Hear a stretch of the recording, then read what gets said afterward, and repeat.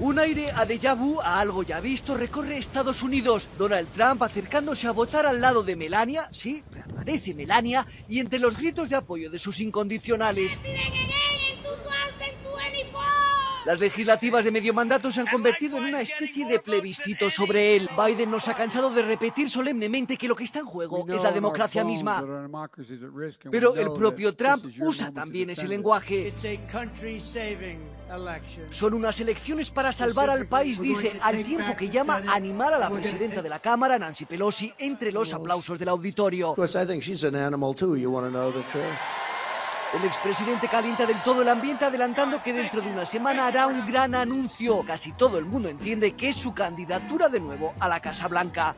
La Cámara es casi seguro que la ganarán los suyos, los republicanos. El Senado se juega en tres escaños muy disputados. De ellos dependerá que Biden pueda salvar algún mueble.